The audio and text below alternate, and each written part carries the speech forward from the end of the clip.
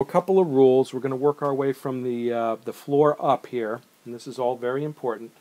You want to have a good chair, or just a regular chair. Folding chair is fine.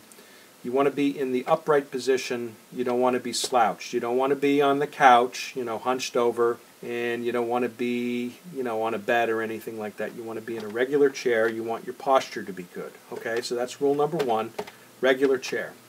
I'm about to break rule number two now. The natural tendency is when you pick up a guitar, you want to rest it on your right leg. And this is wrong. The reason it's wrong is you see that the angle of this neck here, it's parallel with the ground. Okay, and really what we want is we want this neck to be tilted up in this direction here, up in the air, you know, up higher. And the reason is, is because it's much easier to be able to arch your fingers and not touch other strings. It's easier to press down.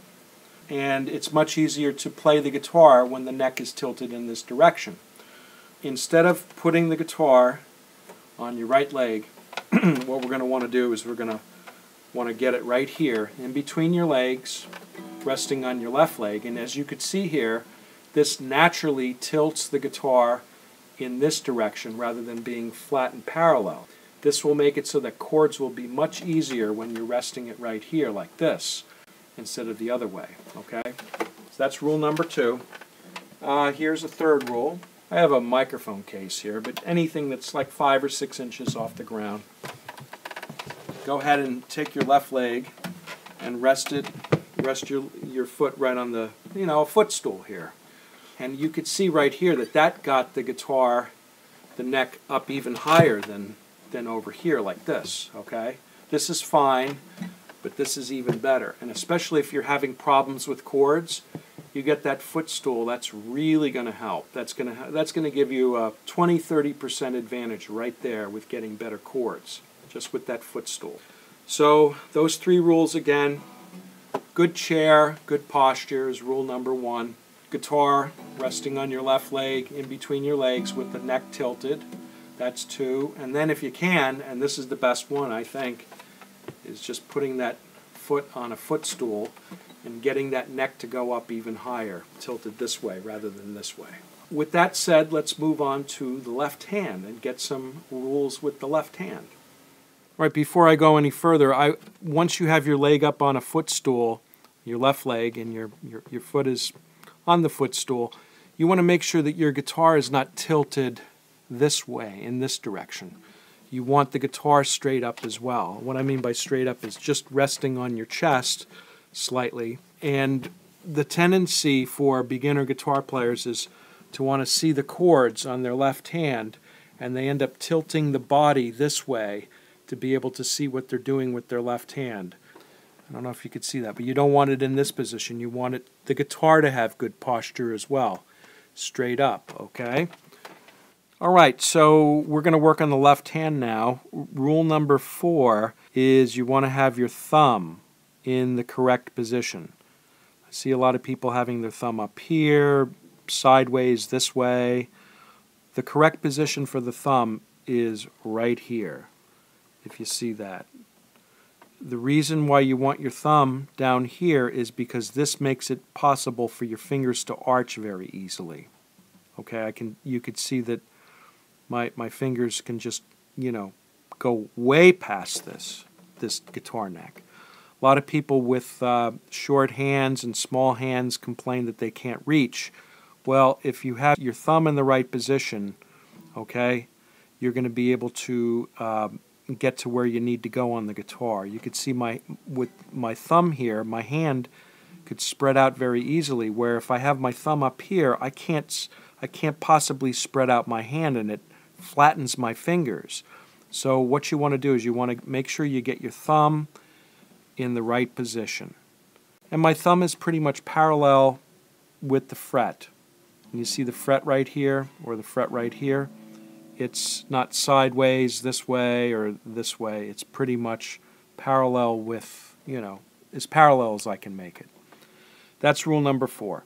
Rule number five, the reason why we have our thumb there is because we want to get our fingers arched. Very important. So I'm going to give you an example here. We're going to go three frets up, and I think you guys already know, but this is first string, second string, third, fourth, fifth, and sixth string. These are the frets, fret number one, two, three, and this is the nut, okay, that's holding the strings. And we want to go one, two, three frets up with our ring finger, our third finger, okay, and we want to play the G note. That's three frets up on the sixth string. And in order to do that properly, we want to get our thumb in the right place and we want to be able to arch our fingers. This is arching, this is flat. And the reason why we want them arched is because we don't want to be touching other strings with our finger. So if I play this right here unarched, okay, if I'm even if my thumb's in the right place and I didn't arch my my fingers, you could see how flat they are. Guess what's going to happen? I'm touching another string. So very simply, arching is just going like this. Get the thumb in the right place and go ahead and arch your fingers. This is unarched and this is arched. Now even if you have a small hand, um, I'm going to tell you that that's no excuse because you could see that I could reach my hand, you know, way past, you know, and I don't really have big hands. My hands, people say, well, that's easy for you because you have big hands. No, my hands are not that big, really. I have kind of fat fingers. Maybe the camera is deceiving, but fat fingers. They're short, they're short and stubby. Let's put it this way my mom's hands are, are longer than mine, okay? So. Now, I have a friend that is a jazz guitar player, and his hands are, his fingers are much shorter than mine, and he's got chubbier hands. He's just able to wail on the guitar like you wouldn't believe, and it's just because he has good technique. So the technique wins. All right, so this is arched, and this is unarched. Okay, so we want to arch our fingers. And you can see my thumb for this G chord is parallel to the second fret. I don't have it my thumb up here on the third fret Okay, it's, it's my thumb is back here comfortably on the second fret. Fingers arched. All right, a little break in the action. If you were going to learn three chords and only three chords for the rest of your life, I want to know which ones would they be. Three chords. I want to hear from you. Comment in the description area below. Back to the lesson. Rule number six is you want to play on the tips of your fingers. And I'm going to show you. I was just playing with this finger and you could see the groove mark that the string uh, put on my finger. I'm not playing down here. I'm playing on the tip of my fingers, just just by the fingernail, kind of. And you can see that I have pretty good calluses. All right, you can see them on all my all my uh, fingers here. But uh, there's my calluses, and that's where I'm playing on the tip of my finger. Okay, so thumb in the right position, finger arched. And then if I go play a note, and then play the next note, I have plenty of clearance. You can this is hard to hard to see here. Let me just try to get an angle here. Plenty of clearance on the guitar. I'm nowhere near the fretboard with with my other the other part of my hand or my other fingers. That I that I have it arched so well that there's just no way it's going to hit anything else. Okay. So if you're having problems hitting other strings, you want definitely arch your fingers. Okay? Rule number seven is press just as hard as needed, no more, no less.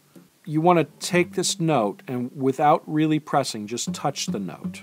Okay, on your left hand, just touch the string. And now what you want to do, of course, arch your finger, thumb in the right place. Start pressing there we go. I just made a clear note.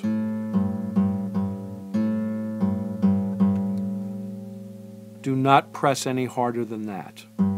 Press only as hard as it as it takes to be able to play the note, no more, no less. Now I see a lot of my beginner students, they are just pressing it down as hard as possible and they've got so much tension in this left hand and you don't want that. You see that um, accomplished guitar players, everything's very easy. That's because they're not pressing that hard.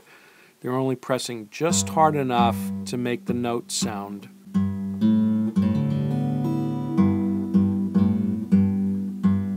No more, no less.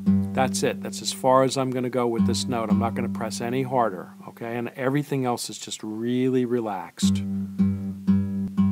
So that's rule number seven. Rule number eight is you want to play as close to the fret as possible.